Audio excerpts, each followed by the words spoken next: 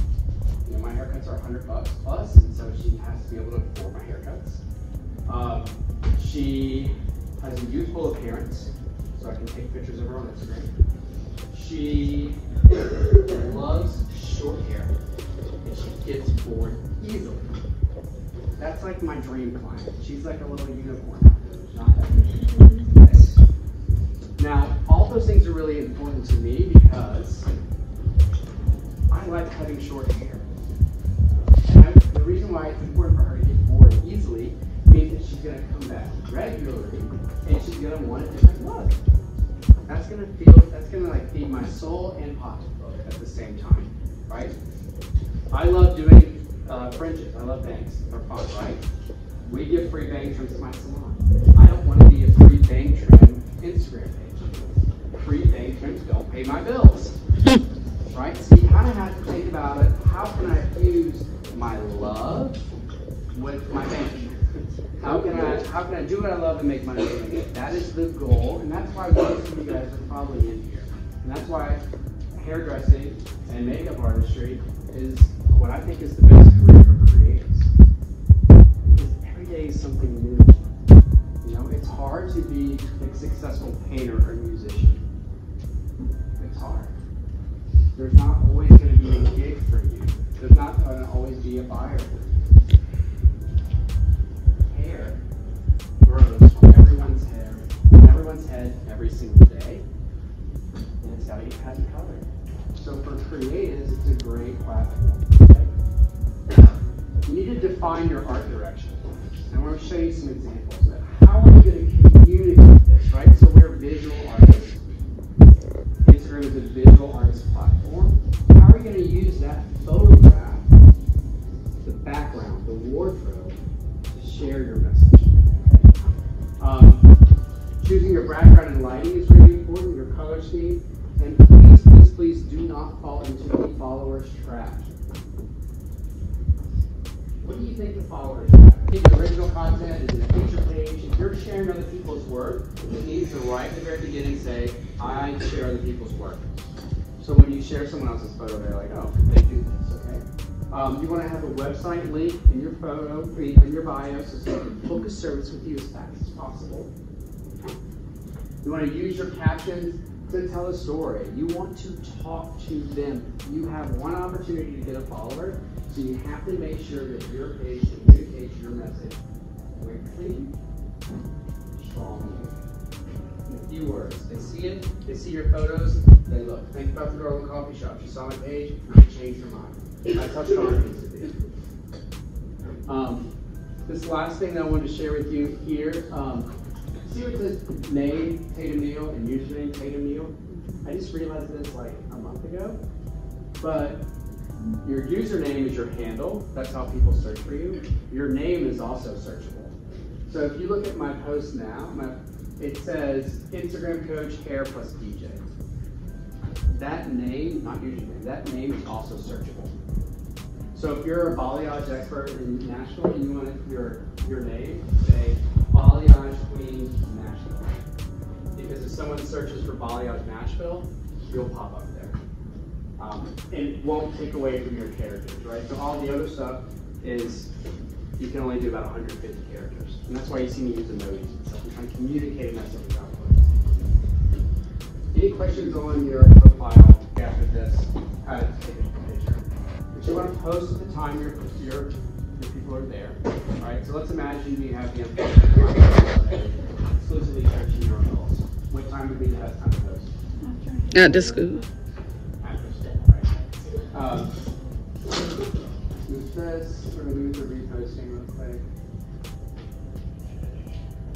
I'm gonna fly past reposting. I will say this though, if you repost, it's really important that you reference the artist immediately.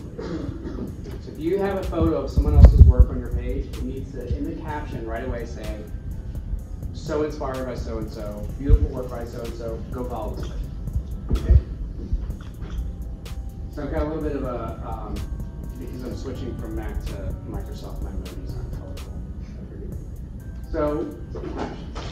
Remember, you want to keep people on your page. Here's how you write a caption. And there's going to be five little ticks, before you take a picture, just wait. Storytelling, you want to bring them in. Remember, I talked about the sayings, right? However, you can bring them in. In this fake caption, I'm talking about the weather. The weather has been topical and a great conversation starter for thousands of years. Anything of anything? It's cold outside. Oh my gosh, I'm freezing. Start with that, right? Spring is finally here, and I've been looking forward to warm air and sunshine. My model Julie was feeling the same way, uh, so we decided to shake up her look for the new season. To get, then we go to formula. To get this look, we did a disconnected undercut on the sides and layered this top and back with a sweet mullet. She has an existing regrowth which function like a gray shadow room. Lighten the ends with some enlightener and twin volume. Then we tone using hashtag Aveda Congress Pink and some Aveda Zero Days. Hey Aveda, I took a cool photo and shared it. That's what I'm doing there. Then I go to questions. Do you have any guests who are wanting a shift for spring? Tag three clients you think might look great with this type of color. Then I go into artist tags. Pro tip, get as many people to touch the photo you're working on as possible. So if I'm in an environment, I, I want someone to do the makeup, someone to do the fashion, someone to take the photo, someone to the haircut, someone to style it. I want as many people to touch it as possible so that when I tag all those people, they get alerted. And then they're engaging with the photo. Oh, that was so fun on that shoot that day. Right? So I need those people to be there at a timely manner, and then I, I want to tag as many people as possible. That's actually going to respond. If you just tag random people and they're not connected to the photo, yeah, they'll get an alert, but they're not going to hyper engage with it. That's not going to push it through the engagement circles. The last is the hashtags, um, which I have kind of copied in my yellow notepad book, and I just copy and paste. So all this hair by hair by Tatum Neal, your name, all that stuff is there. I copy and paste. It's very efficient because I'm tired and I'm running out of time and I just need to get stuff out as fast as possible. So I just copy and paste. And then the hashtags are there too. But I try to diversify, diversify the hashtags. So these are my core hashtags, right? Elevate hair, elevate color, teen meal. Those are my core ones. Then I add in pink hair, mullet, whatever it is, so I can kind of diversify the hashtags. What's wrong with this caption?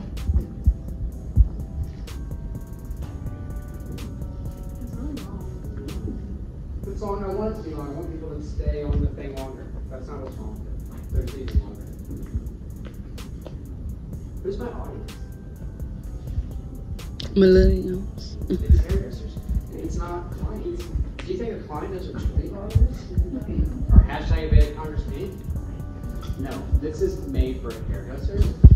This is made for clients, right? So the story is the same, but then when I go to the formula, it's in a client language. You have to think about when you write a caption, who are you talking to? Who are you talking to? Why do you want to read the caption, right? To get this look, we did a quick blow dry with Aveda Speed of Light and a paddle brush. Does that make sense to a client? Okay, cool. Then we sprayed air control, wrapped two inch sections of hair around uh, my Elevate Hair Remix iron, out this month. Uh, and then uh, for beachy Tulsa look. Right? so I'm giving her the tools, paddle brush, Elevate Hair Remix iron, out this month. And um, the product, air control and speed of light. Those are all client friendly languages. Then when I go to the question, do you have any friends? Any friends who want to ship a spray? Tag three people you think might look great for a haircut right? So I'm asking clients to share their friends this haircut. So your languaging really matters. Quick, quick note on hashtags I take a photo. Just local hashtag and location tags. So she's tagging hashtag gardening, So what's your neighborhood you're working, right? What are the hashtags? What are the consumer tags? Like what does the lure say is the hashtag to use? Sometimes we overthink about, oh, what hair related, right? So if you do hashtag elevate hair, the odds are, I want you to tag elevate hair. I hate that. I say this. But the odds are your clients don't follow elevate hair or hair. They follow Vogue. They follow influencers that you know about. That's who you want to tag. Um, and we went through the exercise on how to do a location tag. That's so important. So like, they know where your salon is. They're following your page. Karen tags the apartment complex next door or the hotel next door. So when people are looking at those photos, they go, "That's a great haircut." Well, who did that? I should go see that. Oh, that's right down the street. Does that make sense? Mm-hmm. Right? So get out of your location and go to other locations. Much like I had to go to the coffee shop next door, you can go to the coffee shop next door digitally just by doing a location tag. And the coffee shop really should like that anyway, because I'm introducing my clients to your coffee shop. My clients like coffee too. I had someone complain about a juice bar. She tagged a juice bar and they're like, don't promote uh, your juice too. So they might want to go to your place. Okay, honestly, that person's not, you know, that's Jane Doe. instrumentation. I'm gonna take a picture. Um, any questions on? Captions, Yes. I have a really hard time with hashtags, so I'll get through my whole entire post and I'll be my last down, I'll do.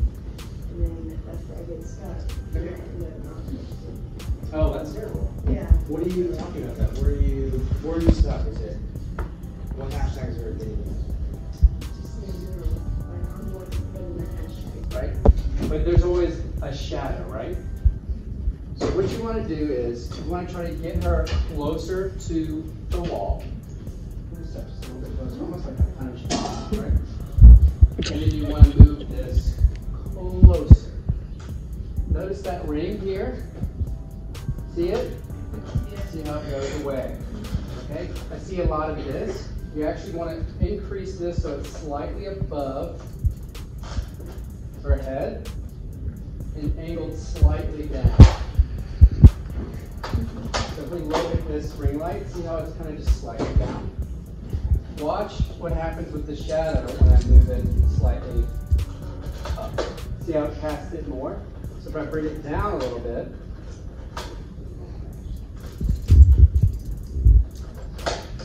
it actually brings the shadow down too, because the light's coming down. Oh, you can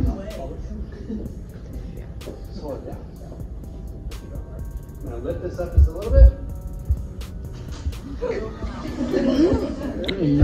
bit.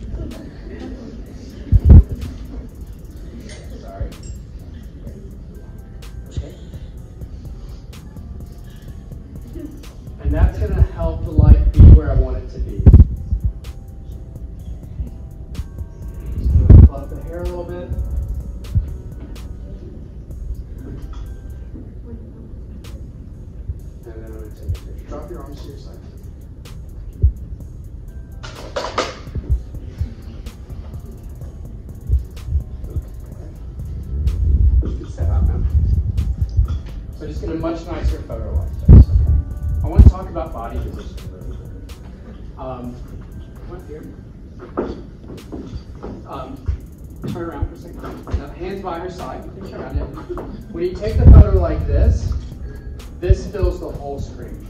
So a couple things that you can do. You're both going to do it at the same time. You're going to stand this way. Now you're going to. Take your hands and put them like this.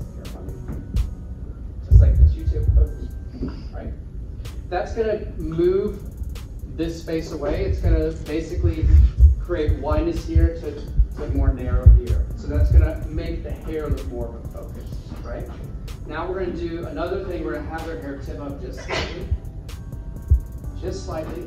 So now the hair is kind of free flowing. We're gonna get a little bit better photo like this. Now we're gonna do, now this is, this is the move. You can just do this, this is fine. But this is another move I feel like always kind of works. I want you to take your hands, put them on your neck, underneath your hair, and then I want you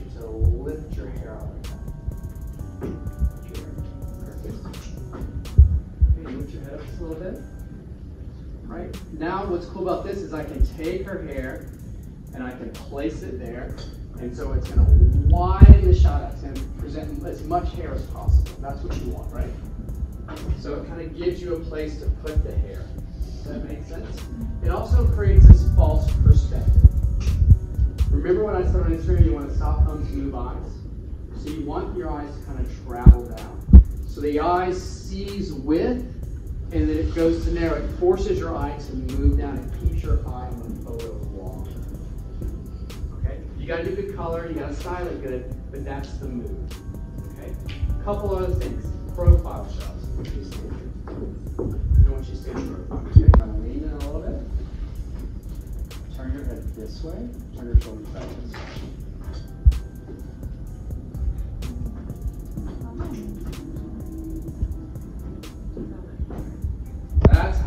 That looks like better hair, right? Where's, oh, Bob? Bob, can I use you for a second? Actually, I need someone a little, yeah, come on. Tatum, right? Yes. I don't get to meet that many Tatums. I've never met another Tatum in life. You're gonna get a Tatum photo. That's what I said. For sure. Okay, so take a picture of Bob. What you want to do is for your profile, you want to have her to the side. Head, keep your head looking at me. Out.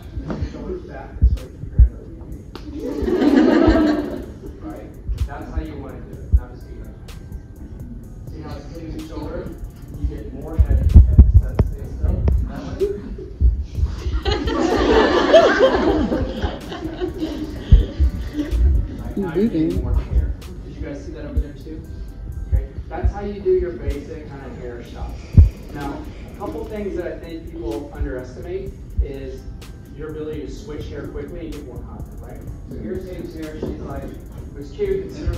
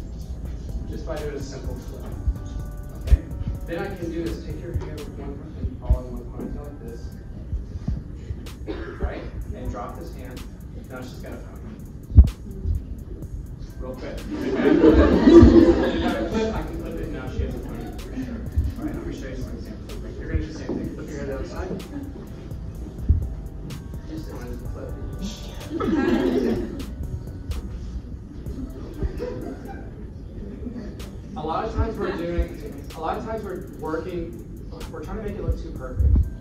No one likes that. You want to look a little messy, a little disheveled, and you want to try to get as much variety in your looks. Okay?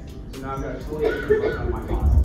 Right, so I got one girl, one haircut, one color, but if I can get two, three, five looks out of that one person, then I've got content gold. We're gonna stop now. You're hear, the thing with braids, although they're cool, is that they're kind of fixed. I'm gonna show you a couple more examples real quick, and then I'll open the. Skip past editing. I will say this, I use Photoshop Express. I love it. It's not a filter. I'm actually changing the photo.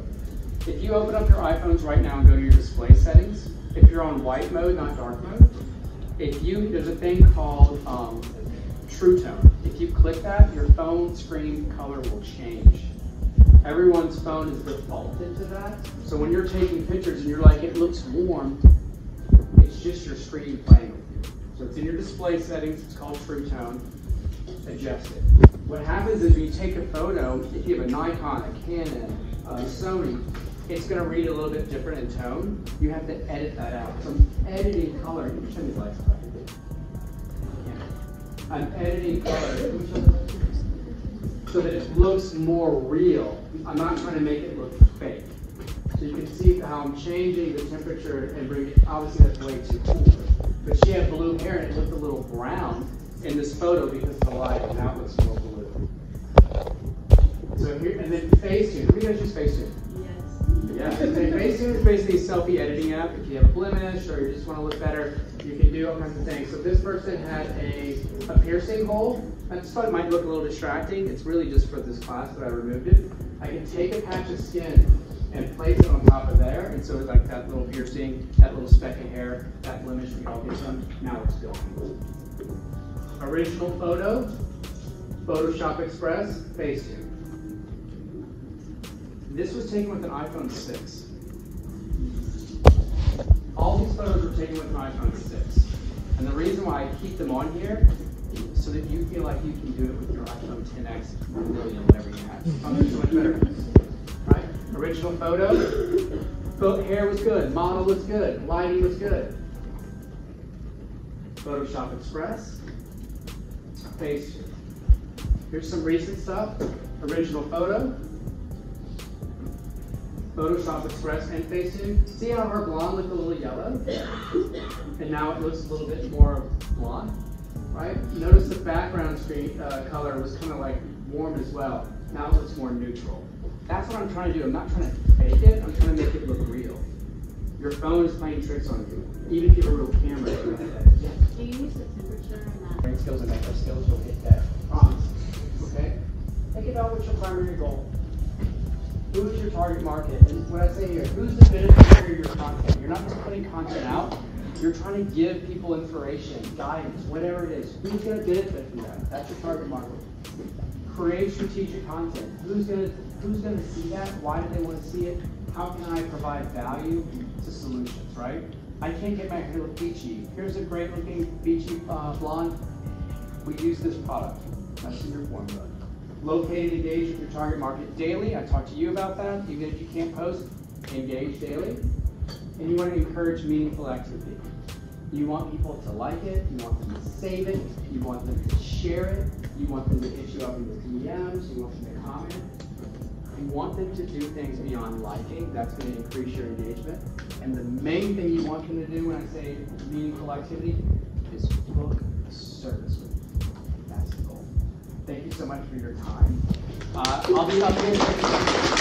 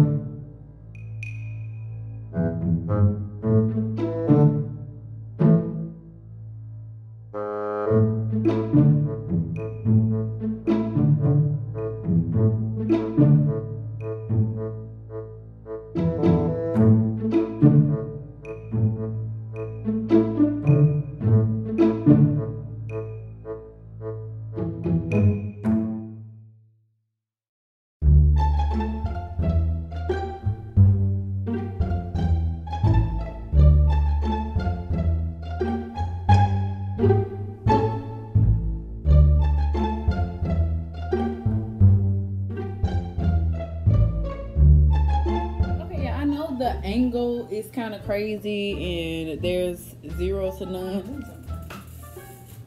Zero to none um, lighting but i just wanted to come on and end this video. I'm cooking my steak right now and i'm actually recording this on my ipad so the quality is trash. I